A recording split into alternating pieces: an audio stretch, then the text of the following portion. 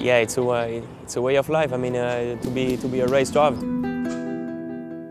to be an athlete, you need to, to train all the time. It's part of the job. But I mean, I choose my life, I choose the way I'm, I'm living, and uh, it's fine like this.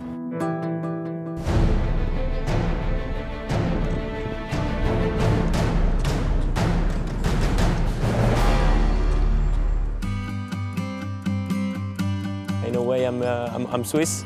I was born here, always, uh, always stay here. I grew up here. I have all my friends, my family.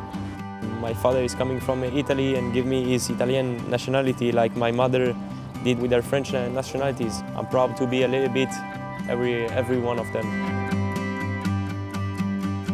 There is not only racing in, uh, in life, and I'm willing, you know, to, to have a, a nice career, but in case it's not working, you, you need to be ready to, to have a, a B plan. I went to university and uh, started, uh, started uh, economy.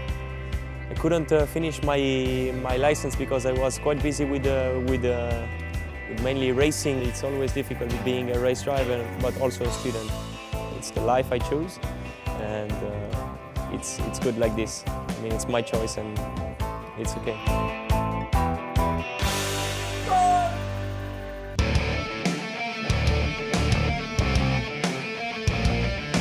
I've been involved in, uh, in martial arts for many years. For me, it's a, it's a real passion. I really like uh, to fight and to, to do Thai boxing. I like the sport. I'm, I mean, I'm a real uh, big fan. Uh, and every time I can, I, I'm, I'm going to, to train. I think martial arts is a, is a big help for for any athletes, but I think for every people. It's a sport that, that can bring you a, a lot of things, and, uh, and for sure it's helping me for, for my sport, for, for racing.